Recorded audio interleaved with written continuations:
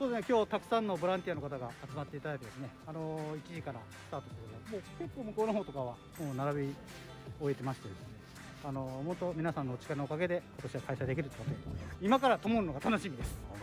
以上です。いよいよ当日。そうですね、あのーなんかあっという間の半年間ぐらいのイメージなんですけど、まあ、今日迎えることができて、もう本当ハッピーやなって思ってます。やっぱこれからこのお祭りをどうつないでいくかっていうことがとっても大事なことやと思うので、つなげる人があのどんどん増えていってもらえれば一番いいなっていうふうに思います。はい。まあ、だから規模縮小っていう言葉にすごくみんなあのなんかとらわれてる部分が結構あるんですけど、うん。規模縮小なんて本当はどうでもよくてこれができたことが一番大事だと僕は思います。でもあの八坂神社だけっていうことで、まあ、しかもその境内を任されてちょっとどんなのを作ろうかなっていうのでなんかプレッシャーは感じましたね。まあでもなんかいいのができたような気がします。まだ火をつけてみないとわからんですけど。コロナに、まあ、勝つじゃないですけど、負けないようにみたいな願いが込めて、えー作ったような感じですね。見に来てくれた人たちに一言。いただいてね、こんな時期に、ん。わざわざ見に来てくれて本当ようこそ竹よ家という感じです。ありがとうございました並べる時のコツとかあるんですか？高橋さん。みんなに明かりが見えるように一つの明かりがはい、ね、偉そうなこと言ってもなかなか難しいんだよな。でもせっかくついた明かりだからみんなが見えるように。ボランティア。はい、お手伝いされて、い。今年は何年目ですか？あ、今年初めてなんですあよ。本当ですか、はい。初めてはい。スタッフで入ってみてどうですか、ああ、いや、なんか思ったより大変なのと、やっぱり楽しいなっていうところ。と、うん、両面ですね。楽しさどういったところに感じます？うんやっぱりみんなで一つのものを作っていくっていうのは、やっぱりとても楽しい作業なので。うんはい、そうですよね。もうあと2日間、たった2日間のことなんですけど、もうそれになんかいろんなものをかけてというか、思いを乗せて、ちょっと見ていただけたらいいなと思ってます。頑張ってください。ありがとうございました。天気持ちそうですか？うんなんとか今日はね、降ってもちょろっとぐらいじゃないですか。多分。ね来てくれそうな予感がビシビシ。しております結構ボランティアの人も本当すごい集まってくれて、消防の方ですかね。消防？の方とか警察の方とかも銀行の方々とか、一般の方々とかいろいろ来てくれてますね。来てくれた方が本当喜んで帰ってもらってまた来年も来たいであったりこう作るところから参加したいって思う人が出てくればなおいいですね、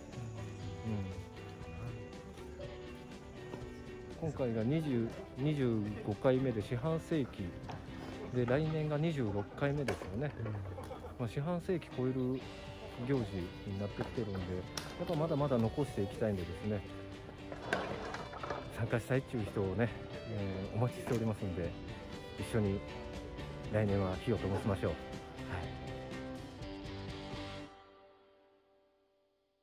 お久しぶりです。しておりますよ。えー、ルスキチャンネル。MC のさん中西敦です。さん乾杯ご無沙汰してます。竹を楽しんでくださいはい行きましょう。はい。竹酔いを深掘り、縮小開催。2021に生潜入。いやー始まりました。この八坂神社の鳥居の前のところに来ていて、うんうん。4年ぶりの開催の薄木。竹酔いですよ。あらららら。市外からのお客さんが帰り際に「ありがとうまた来年も来ます」と言ってくれたのは嬉しかった。竹酔いの趣と街の商業的雰囲気が合ってないとご指摘を受けた。規模はどうだと、82%の人が縮小するやっぱり4年ぶりに見ると竹はすごく綺麗だし、皆さんも盛り上がって盛り上がってます、えー竹酔いイコール好きになってほしいです。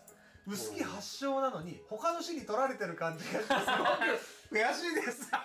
それはねよくよく聞きますよね。静かで落ち着いたえー雰囲気が竹酔いには合ってると思うのですがそれではにぎわいも人も増えない。規模は縮小しても昔のように竹ぼんぼりをメインにした竹酔いに戻した方がいい。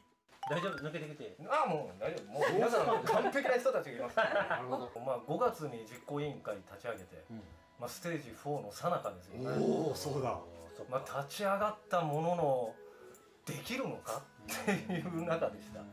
名誉と初めてお会いして、若い人がやってるんだっていうのはすごい嬉しかった。確かに。確かにき良きものは残しながら現代に沿ってちょっと変えていくっていうのも今の時代はすごい大事なのかなって。じゃあうわこんないくつかの効果が竹酔いにはあるんだ。うん。すごい花火みたいやなこれな。なるほどね。宮野さん本当にねあの空気が読めなくてごめんごよ。タレントのキドッチが来てくれもう本当にね私が初めて参加した時に100年続くイベントにしたいとお言われてた方がいました。竹酔いといえば般若姫行列この行列の元になっている般若姫伝説。またはマナの長者伝説は臼杵市民なら知らない人はいない。と言っても良いほど浸透していますよね。実はこの伝説日本全国によく似た。ありがとうございました。たくさんご覧になっていただいてありがとうございました。ありがとうございました。キドッチマミーありがとうございましたまた明日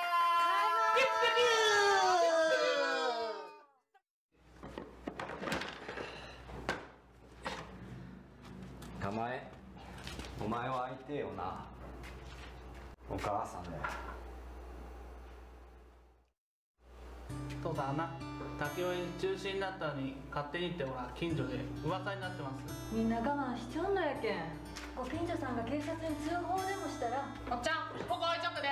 お祭りのただの行事里人たちは竹に明かりを灯して。玉江もういいよ。竹酔いは中止。吉野とも。会えん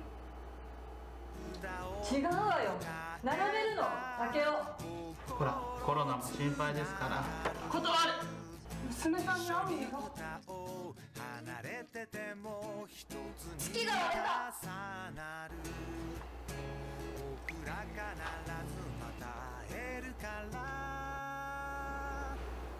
吉野か